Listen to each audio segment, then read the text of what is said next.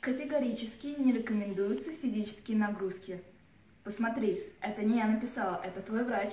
Ни о каком матче не может быть и речи. Валерия, посмотри, что эта дрянь со мной сделала. Мало того, что она напала на меня со спины, так еще и атаковала потом стулом, не дав шанса защититься. И ты хочешь мне сказать, что она останется безнаказанной?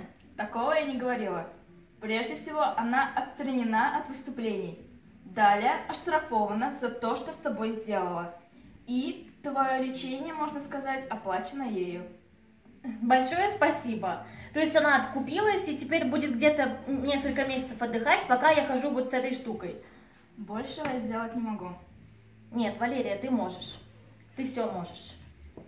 Я хочу, чтобы ты отменила все свои отстранения для того, чтобы она вернулась на ринг. 20 января я хочу с ней матч. Я уверена, она тоже этого хочет.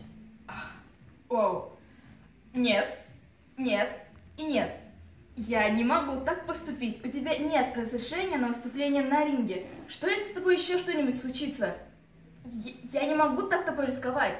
Не переживай, не переживай. Я всю ответственность за травмы и переломы возьму на себя.